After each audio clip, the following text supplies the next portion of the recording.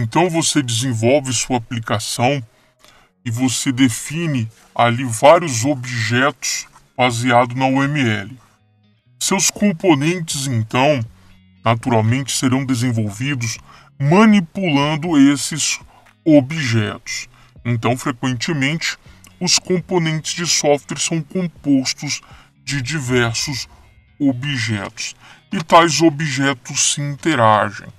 E isso é uma aplicação. E isso vai inclusive ditar o comportamento da aplicação.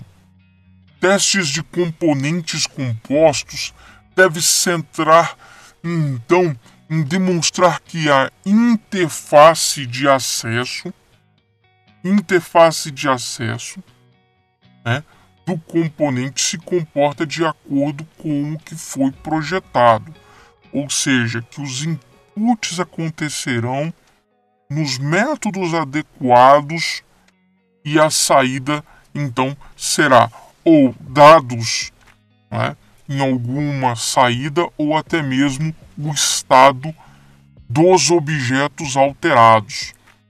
Lembrando a vocês que quando eu imputo geralmente ali uma informação em um método, esses métodos alteram os atributos dos objetos. Então eu tenho que analisar isso também. E isso é muito difícil. Há casos, inclusive, que é necessário se trabalhar ali analisando a memória. Vamos lá. Olha só, aqui eu tenho um caso de teste sendo aplicado a uns subsistemas de componentes e esses componentes se interagem componente A, B e C. Lembrando que cada componente pode manipular N objetos internos. Dá para se notar aqui a complexidade então do teste de software e tem que validar então um subsistema que é formado por um grupo de componentes. Lembrando também que você já fez os testes unitários em C, você já fez os testes unitários em B e os testes unitários em C. Então, quando nós testamos esse conjunto de componentes assim, nós conseguimos a entender a integração desses componentes. Bom, Existem diferentes tipos de interfaces de acesso a tais componentes ou subsistemas, tá? Consequentemente, diferentes tipos de erros são esperados. Ó, oh, só vou falar uma coisa para vocês. Tá vendo que A e B estão indo até C? Falando em erro, C não pode consumir o erro. Então o componente C não pode consumir o erro componente C tem que elevar o erro caso ocorra para quem o chamou, para os componentes que o chamaram, tá? Isso não está escrito no livro, eu acho. Eu não achei isso no livro. Isso é uma prática de programação. As camadas inferiores tratam o erro, pegam, capturam o erro, escrevem em algum lugar que houve o erro em tal ponto da camada e passa o erro para a camada superior a camada superior passa para a camada superior até chegar à camada de usuário. O erro ele não pode ser consumido e esquecido em camadas inferiores, tá? Você tem que ir subindo o erro até as camadas mais superiores. Essa é a jogada.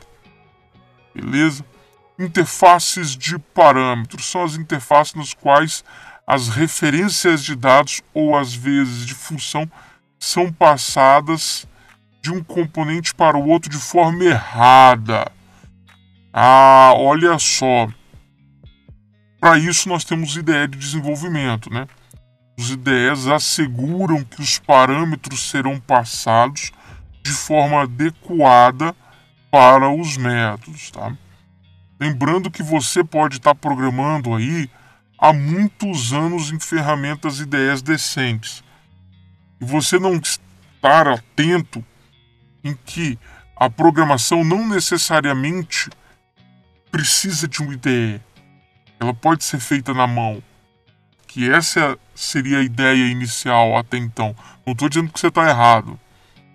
Estou dizendo o seguinte: que para aquela galera que programa sem um IDE, passagem de parâmetros errado é um procedimento comum, principalmente se o IDE ou não existe ou de baixa qualidade, ou até mesmo aquela linguagem que não há uma forte tipificação. Há possíveis ali situações que o erro pode ser imputado no parâmetro, como por exemplo um parâmetro errado, um tipo errado, um valor não esperado. Interfaces de memória compartilhada, né? Então eu tenho vários componentes que tem ali uma memória compartilhada e eu tenho uma interface de input de dados ali para comunicação entre os componentes ou até mesmo o subsistema, tá?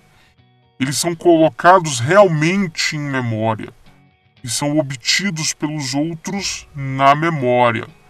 Acontece que quando nós trabalhamos assim, nós temos que estar atento. É? Por exemplo, se a memória foi escrita corretamente, não é? Se a memória não foi escrita completamente e outro processo já está lendo da memória, então tem que ter um controle se pode ler ou não pode ler. Imagine que algo está escrevendo enquanto algo está lendo é muito complicado trabalhar com memória, tá? Interfaces de procedimentos são as interfaces no quais um componente encapsula um conjunto de procedimentos que podem ser chamados por outros componentes. Então você tem um componente com N procedimentos e um outro componente pode chamar um procedimento chamando esse procedimento como se fosse chamar uma função, como se você importasse isso para a sua aplicação e chamasse aquele procedimento específico que está dentro de um componente. A galera do Python sabe muito bem o que é isso.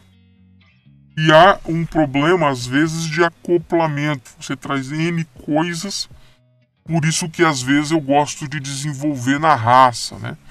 algum, porque eu quero chamar apenas um procedimento que eu não preciso do componente como um todo, e o componente como um todo vai me trazer ali um emaranhado de coisas que eu não quero. Aí eu vou lá e eu mesmo reescrevo o procedimento no meu próprio componente em vez de chamar um terceiro. Interfaces de passagem de mensagem são as interfaces nas quais um componente solicita um serviço de outro componente, né? Então é possível criar a ideia de componente que serve a outro componente como um serviço.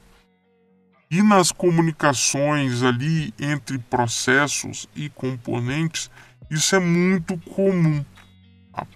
Inclusive, o nosso amigo projeto Borg, ele trabalha com a ideia de serviços, serviços internos até para a comunicação de subsistemas.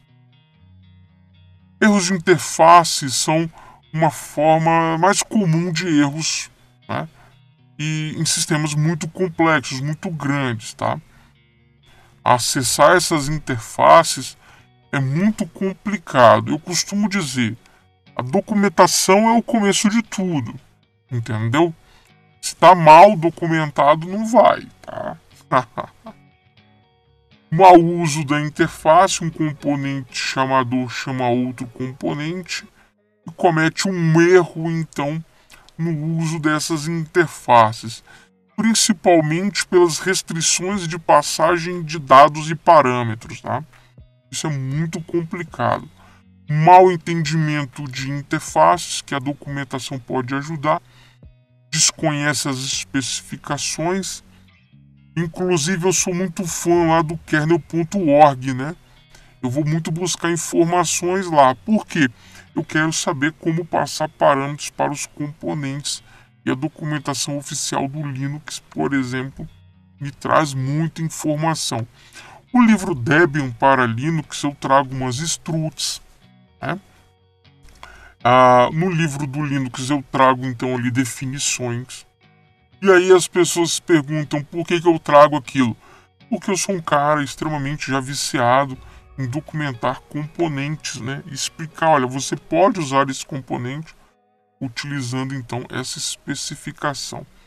Erros de timing ocorrem em sistemas em tempo real, né?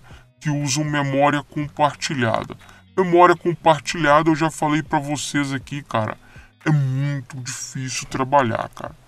Mas a memória compartilhada ali ajuda as aplicações a ter uma comunicação mais, como eu posso dizer, mais coesa, né?